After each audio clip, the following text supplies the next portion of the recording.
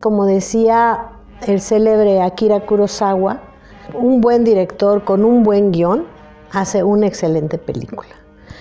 Un mediano director con un buen guion puede hacer una excelente película, pero un mm, eh, director que ha sido bueno, que no tiene un buen guion, no hace una buena película.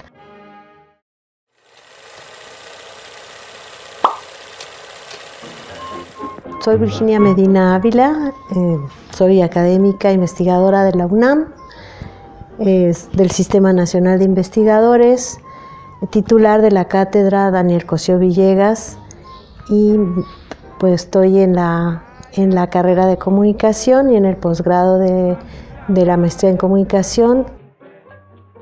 Y mi obra eh, de investigación ha girado en torno al fenómeno radiofónico. Y antes, antes me dediqué también al fenómeno cinematográfico. Es una rica eh, película de género de cabaret. Y como decíamos que está reflejando el mundo que está viviendo, eh, es una película de 1950. Eh, tenemos que recordar que está el alemanismo, el gobierno de Miguel Alemán Valdés y que eh, en nuestra Ciudad de México hay un gran crecimiento por este eh, proceso de, desarrollo que se plasma en el crecimiento urbano. La ciudad va a tener mucha vida y sobre todo la vida nocturna. Y entonces el género de cabaret va a reflejar esa vida nocturna. Ven que en ese tiempo hay una serie de tipos urbanos que están de reciente integración a la sociedad mexicana, que, a la sociedad de, la ciudad, que van a estar viviendo esa, esa eh, vida nocturna. Entonces tenemos desde chafiretes, de eh, Pachucos, Pachucos van a ser uno, este, este personaje de Pachuco en el, en el, en eh, las víctimas del pecado va a ser eh, fundamental. El boogie boogie se bailaba en esa época, ¿no? Las grandes orquestas, el danzón, eh, sobre todo la rumba cubana. Los, los, ritmos cubanos van a estar muy presentes. Va a venir eh, el mambo con, con Pérez Prado y entonces esos cuadros musicales y la rumbera en toda la extensión de sus, de sus carnes, prodigando eh, sexualidad, pues va a ser el toque magistral de todas estas películas y finalmente todo está en el guion. Eh, la película también cae en el melodrama y, bueno, antes se gustaba mucho, ahora eh, se puede criticar o a veces muchos se ríen de, las, de los extremos, ¿no? Este, la cumbre melodramática, pero finalmente pues somos hijos del melodrama en México, así es de que esos elementos siempre van a existir. Tenemos este, la incursión de, cinco, de cinco participaciones que son míticas, ¿no? Tenemos por un lado a Emilio Fernández como director, tenemos a, su, a su escritor de cabecera, Mauricio Magdaleno, pero tenemos a, Gabriel Figueroa, a el arcángel San Gabriel fotografiando las películas. Tenemos a Antonio Díaz Conde que hace la música excepcional. Eh, tenemos a eh, Fontanals, Manuel Fontanal, que ese es el escenógrafo, ¿no? Va a recrear al, el Changó y a la máquina loca, ¿no? los dos cabarets. Y tenemos finalmente a una editora, eh, eh, maravillosa editora que va a ser Gloria Schoeman. Simplemente eh, entre ellos está el cine mexicano todo de los 40, de los, 60, de los 50, de los 60, de los 70. Eh, Víctimas del Pecado, para, para redondear la idea, es una de las mejores películas mexicanas de todos los tiempos.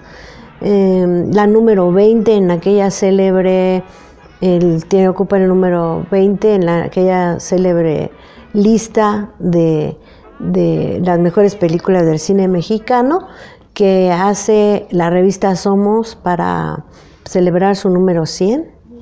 Mauricio Magdaleno es un escritor, eh, novelista, cuentista, también periodista y también incursionó eh, muy, de manera muy prolífica en el cine mexicano. Formó parte de, una, de un grupo que eh, fue reunido por J. Fink de Film Mundiales en los años 40 y eh, tuvo el acierto, este productor, de unirlo y de ponerlo como mancuerna con Emilio el Indio Fernández. De ahí que la mayoría de las películas de Emilio, Emilio el Indio Fernández están hechas con, con su escritor de cabecera, que es Mauricio Magdaleno y vemos que trabajó en todos los géneros, todas las historias eh, posibles. Em, tenemos géneros de, eh, desde luego, de, eh, urbanos ya en la última parte, pero también de historias en el medio rural. En el guion está la savia, la raíz, el, el guionista es el primero en ver la película. Y bueno, yo me dediqué a estudiar a Mauricio Magdaleno eh, en mi obra de, que se llama Mauricio Magdaleno, el crédito que nadie lee, porque sentía que eh, finalmente no se les daba el crédito debido ni el reconocimiento a los guionistas.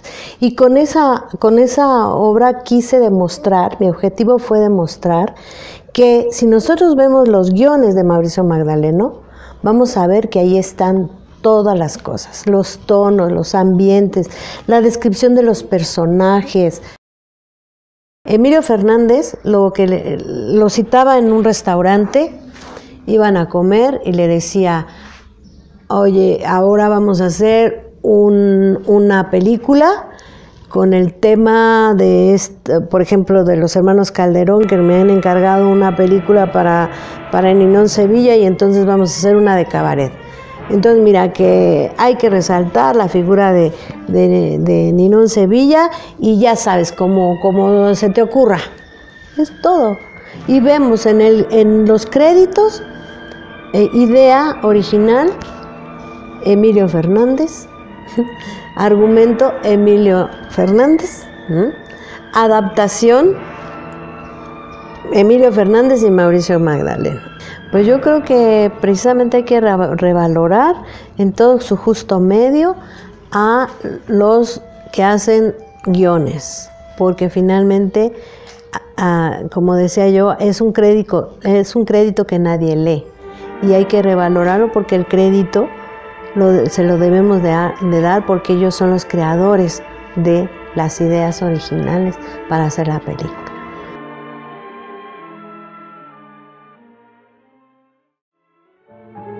Sangre y sonrisa juntas al mirar. Sangre y sonrisa juntas